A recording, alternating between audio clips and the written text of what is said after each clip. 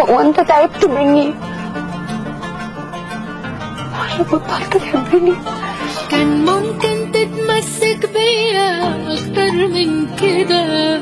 كان ده المتوقع وتقريب العدوى قالوا أنا كنت عيني عليا متأكدة.